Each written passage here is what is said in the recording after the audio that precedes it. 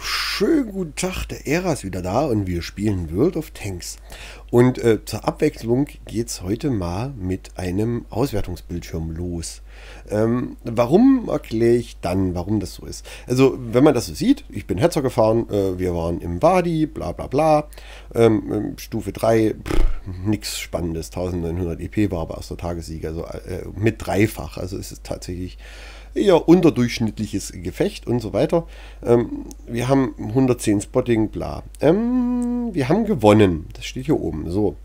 Ähm, und wir hatten am Ende noch einen Überlebenden. Das ist dieser Typ 64. Stufe 6 Scout. Ähm, der Yorker. 1600 ähm, Schaden gemacht, 7 Kills, 1181 EP. Das äh, High Caliber Top Gun Duelist. Also wenn man den mal aufmacht, da ist schon einiges da. Ähm, die Frage, die sich mir gerade stellt und warum ich dieses Replay jetzt hochlade, ähm, wir haben dreimal geschossen, übrigens dreimal getroffen. Hey, ein Hoch auf den Hetzer. Ähm, so, die wichtigen Sachen. Ähm, und zwar Typ 64, äh, Top-Tier. Also es war ein Sechser-Gefecht, drei Sechser, äh, ein paar Fünfer und äh, jede Menge Vierer, wo ich dann mit reinfalle. Ähm, unser Team war auch mies. Guck mal hier, 0, 0, 0, 0, 0. Also das kommt noch dazu.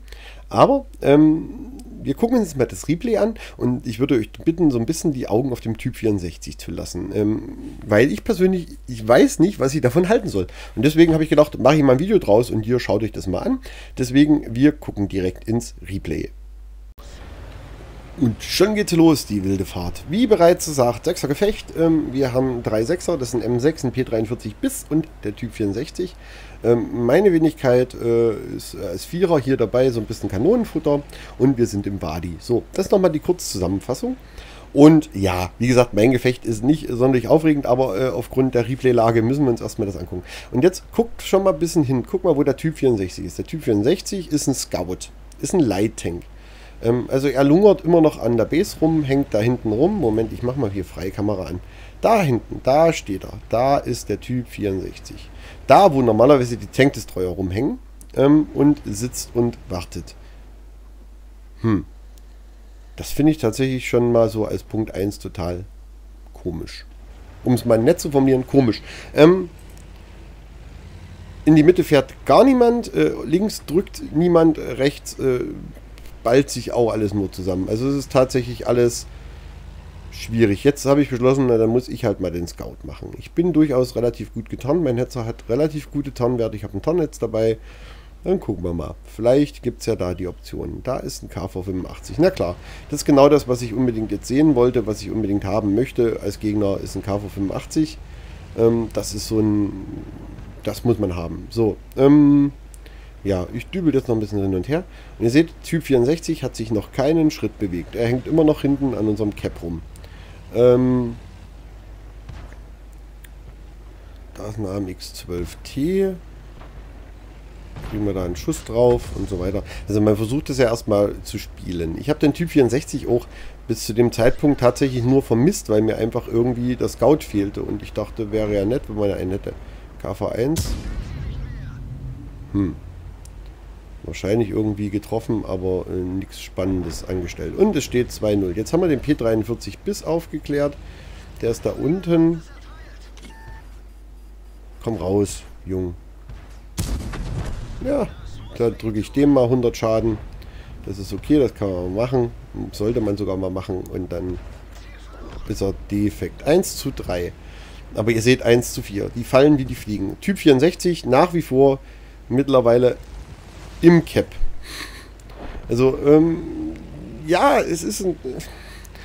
Weiß auch nicht, es ist halt ein verkackter Scout, verdammte Scheiße, noch eins. Also 2-6, ja, ihr wisst schon, wie es ausgeht. Ähm, es ist ja soweit, ja, Against Stupid Noobs, das Gerage im, im Chat geht auch los. Da kommt der AMX 12T. Boah 2,6. Ähm, unten ist alles defekt. Unten ist hier wirklich die komplette Position schon verbrannt. Die Mitte ist verbrannt. Wir stehen oben noch ein bisschen. So, der 12T, der muss weg. Äh. So geht das. So.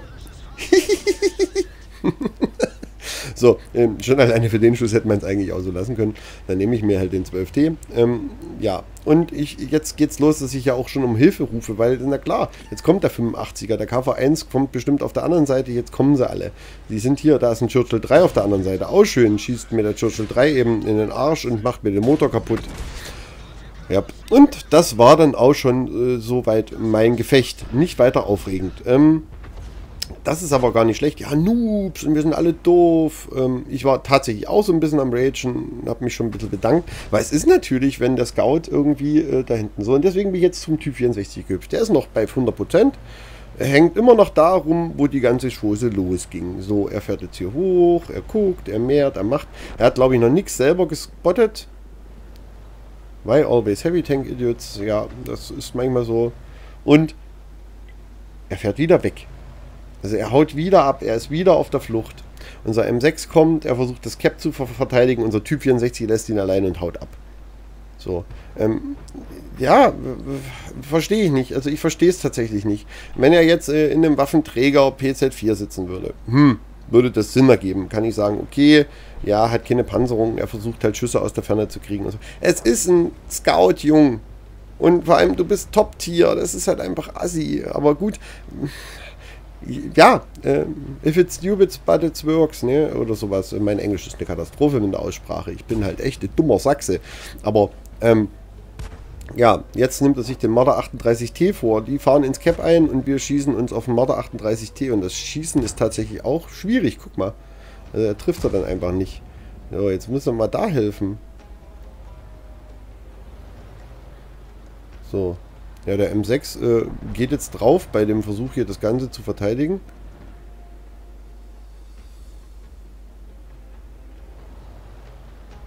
Ja, und Captain Typ 64 fährt die ganze Zeit hin und her. Also das ist halt echt schwierig, ja. Jetzt geht das PZ4H rein. Dort ist ein KV1, der hat noch 100 Punkte. Da kann man doch reinfahren oder bin ich zu blöd? Es kann ja auch sein, dass ich doof bin und das sind hier die Advanced Tactics, die ich nicht verstanden habe. Und ja gut, jetzt ist da noch ein PZ äh, P2640.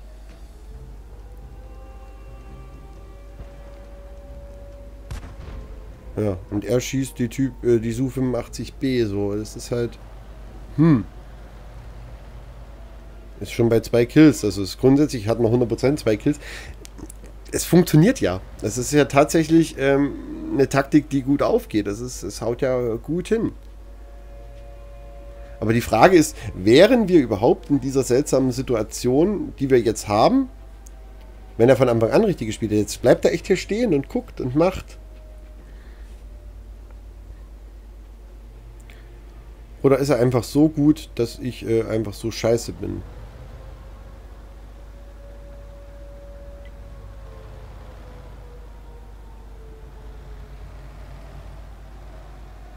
So, jetzt hat er so tatsächlich mal seine Eier gefunden.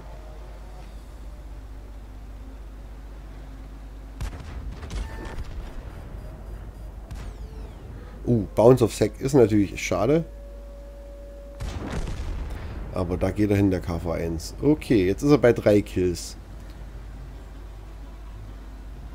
Und es steht 11 zu 13. Das, Schlimme ist ja, wie gesagt, es funktioniert ja. Also er holt jetzt hier ein bisschen die Kohlen aus dem Feuer, aber man konnte das ja vorher quasi nicht wissen, dass das so läuft.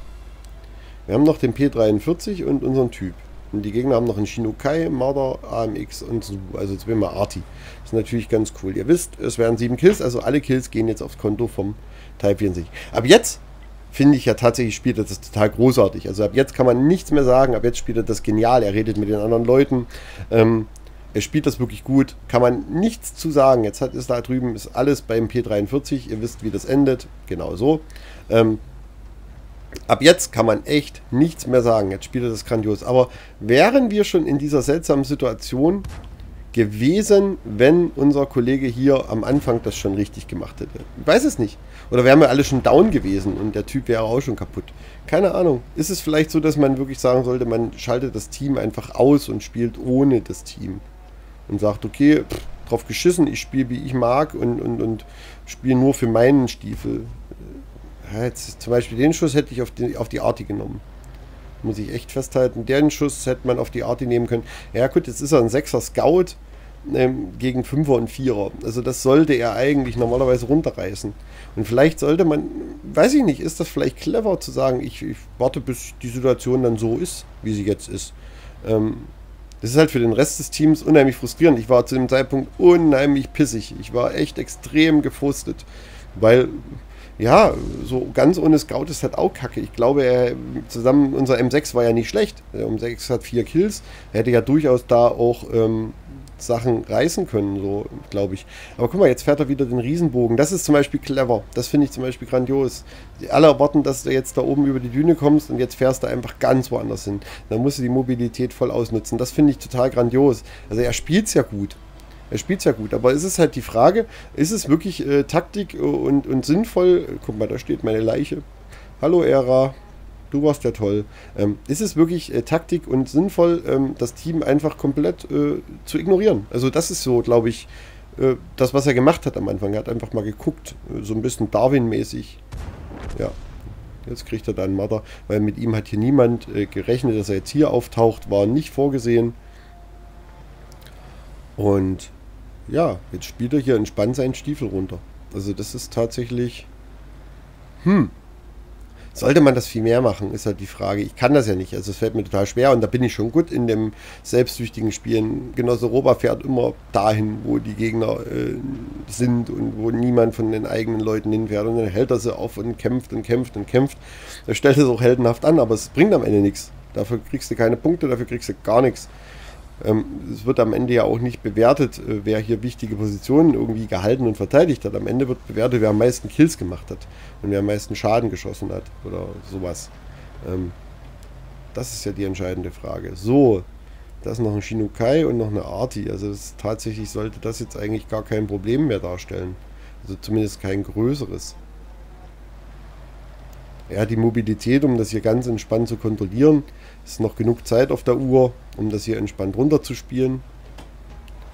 Hm. Da ist der Shinukai. Das ist... Oh, Kette.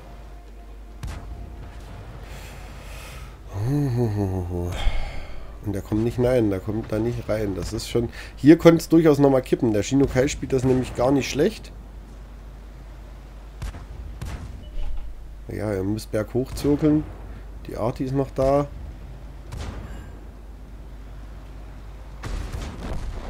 Kriegt er noch einen von der Arti, aber das war's.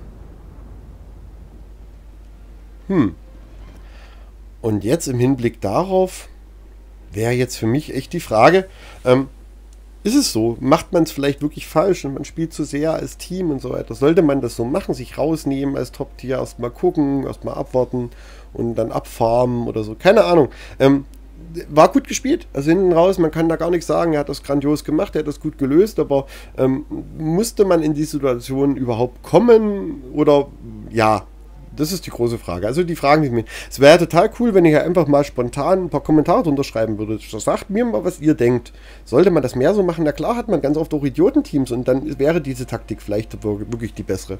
Das würde mich echt mal interessieren. In diesem Sinne, ich sage vielen Dank fürs Zuschauen. Wenn es gefallen hat, lasst mir erstmal einen Daumen da und ganz wichtig, heute schreibt mal was drunter. Schreibt mal bitte drunter, äh, ja, so geht das oder ja, so geht das nee oder ja, das ist doof oder es ist ein Teamspiel oder was auch immer. Ich von beiden Teilen finde, äh, ja, der Erfolg gibt ihm ja im Endeffekt recht. Es ist ja gut gelaufen. Sieben Kills, ein Haufen Schaden, jede Menge EP. Er hat ja das Maximum rausgeholt aus diesem Spiel. Während ich pfeife, der ich vorgefahren bin, um hier den Scout zu geben, einfach den Frack voll gekriegt habe. Insofern, ja, wäre schön. Und ja, sag bis zum nächsten Mal. Ciao, ciao. Der Ära.